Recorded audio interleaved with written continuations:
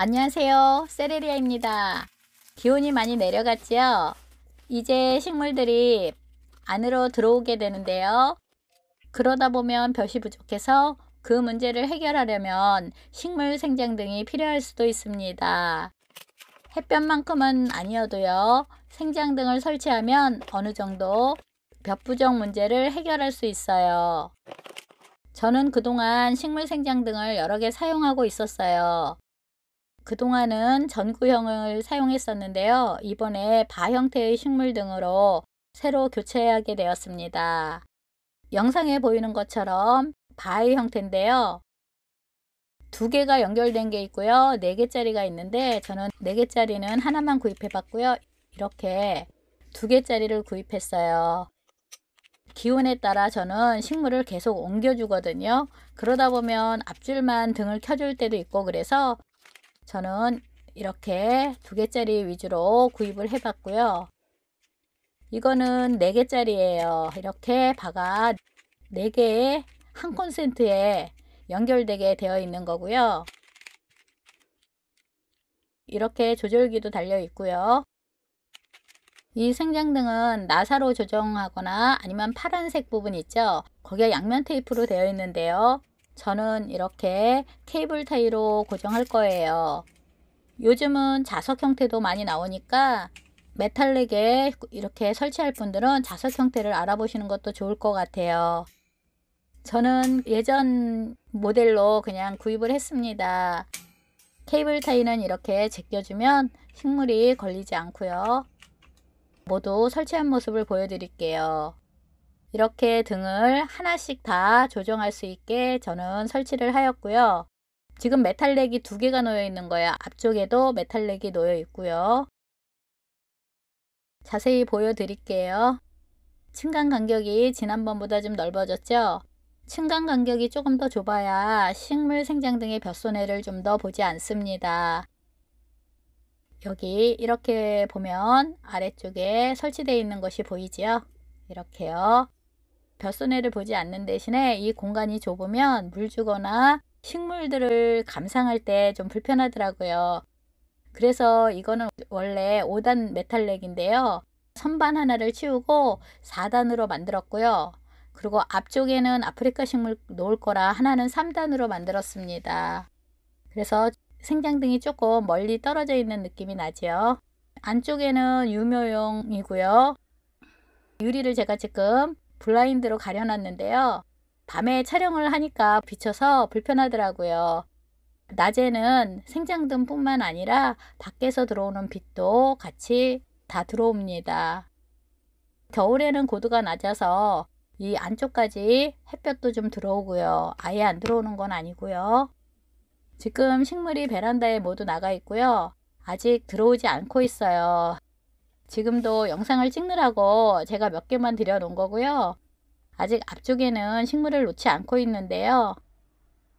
식물이 가득 들어있는 상태에서 영상을 찍었으면 조금 더 영상이 알찼을 텐데 일부러 다 옮길 수는 없어서 그냥 몇 개만 이렇게 놓아봤습니다. 여기에도 아직 선인장 유묘들이 다 들어오지 않고 베란다에 있어서 좀 비어 있지요. 여기는 조금 더 간격이 넓지요. 아프리카 식물이 있는 자리는요. 이렇게 식물 생장 등을 설치할 때 주의할 점이 있는데요. 식물 생장 등은 햇빛만큼 강한 볕을 주진 못해요. 그래서 물을 많이 주면 웃자랍니다. 생장 등을 믿고 물을 넉넉하게 주시면 안 됩니다. 베란다에서 재배할 때보다는 물을 많이 줄여서 줘야 해요. 원래는 꽉 차게 여기 놓고도 자리가 모자라요. 겨울에. 근데 다 들어오지 않았고요. 텅텅 비어서 좀 허전하네요. 층간 간격을 보여드릴게요. 아프리카 식물 있는 데는 이렇게 50cm 정도 되지요. 이렇게요. 근데 화분 높이 있고 식물 높이를 빼면 위에 공간이 25cm 정도에서 30cm 정도 남는데요. 좀 더 좁게 하실 분들은 한 요거보다 한 10cm 더 공간이 좁아도 됩니다. 그러면 식물의 식물 생장 등의 볕손해가 없겠죠. 그리고 똑같이 그냥 50cm로 다 맞추었는데요. 그러다 보니까 이렇게 높은 데는 거의 꽉 찼지요. 자신이 갖고 있는 식물에 맞춰서 층간 간격을 맞추시면 되고요. 이쪽 유묘 자리에는 층간 간격이 얼마나 되나 한번 볼게요. 이렇게 35cm 정도 되는데요. 지난번에 제가 이거 조립한 거 보여드렸죠? 그때보다 한 10cm 정도 간격이 넓어진 상황이고요. 식물 생장 등의 효과를 더 보려면 지난번 제가 조립한 것처럼 그렇게 조립하시면 되는데요. 그 영상은 뒤쪽에서 제가 좀 더 한번 보여드릴 테니까 한번 보시고요. 어느 것이 더 편할지는 재배가에 따라 좀 다르겠지요. 저는 식물을 관찰하기가 불편하더라고요. 식물을 키우는 거는 잘 키우는 것도 좋지만 좀 자기만족도 있잖아요. 근데 내가 이렇게 하나씩 보면서 재밌어 하고 해야 되는데 너무 좁으니까 눈길이 안 가더라고요. 그리고 이쪽에 선정리가 좀 안 돼 있어요. 멀티탭인데요. 저는 이렇게 기다란 멀티탭을 이용했는데요. 이렇게 문어발식으로 많이 꼽는 거는 전력을 조금만 소비하는 거에만 가능해요. 식물 생장 등처럼 전력 소비가 많지 않은 거에는 이렇게 많이 꽂아도 위험성은 없고요. 그래서 이렇게 연결되어 있고요. 유묘에는 등을 4개 달았어요. 4개짜리로 사서 구입을 했다면 저렇게 멀티탭이 큰 게 필요가 없을 거예요. 조절기를 한번 볼게요. 맨 아래에는 전원 버튼이 있고요. 위에는 시간 조절이 있어요. 2시간, 4시간, 8시간 조절할 수 있는데요. 식물 생장 등은 낮에 켜놓잖아요. 햇빛을 대체해서 켜놓는 거니까 낮에 저는 8시간으로 맞춰 놨고요. 그 다음에 가운데는 등의 강약 조절인데요. 4단계까지 뭐 있으니까 조절하시면 되는데 저는 가장 강한 볕으로 조절해 놓았고요. 이거는 매일 조정하는 건 아니고요. 처음 전원을 켜서 8시간으로 조정해 놓으면 매일매일 내가 켠 시간에 켜집니다. 한 번만 조정해 놓으면 되는 거고요. 제가 그 전에 사용했던 식물 생장 등도 한번 보여드릴게요. 저는 이렇게 생긴 거를 사용하고 있는데요. 전구형이고요. 앞에는 속개처럼 돼 있어서 전구를 계속 교체해 나갈 수 있게 되어 있고요. 이거는 자석인데요. 굉장히 강한 자석이에요. 그래서 손에 힘을 많이 줘야 떼어지는 자석이고요. 이 아랫부분은 이렇게 각도를 조절해서 휠 수가 있게 이렇게 되어 있습니다. 이렇게요. 평상같이 생긴 1단의 식물을 재배한다면 이런 식물 생장 등보다 요즘은 스탠드형도 많이 나오니까 그럴 경우에는 스탠드형이 편할 거예요. 제게 스탠드형이 없어서 보여드리진 못하고 있고요.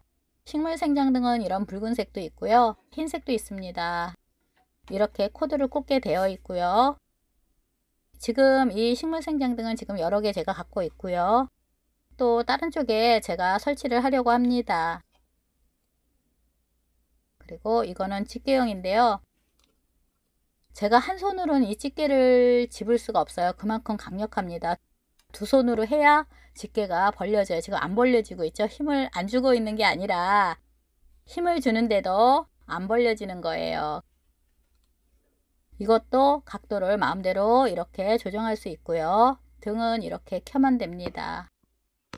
그래서 이 빨간 전등은 정육점 같은 느낌이 나서 싫어하시는 분들도 계세요. 그래서 예전에는 식물 생장 등을 이 붉은색을 더 많이 사용했는데 요즘은 저렇게 하얀색으로 나온 식물 생장 등을 더 많이 사용합니다.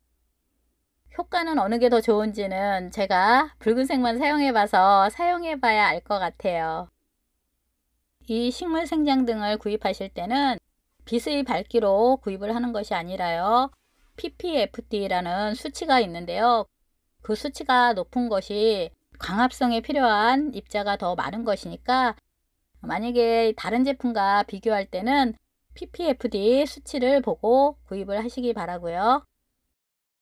지난번 5단으로 조립했을 때 영상이에요.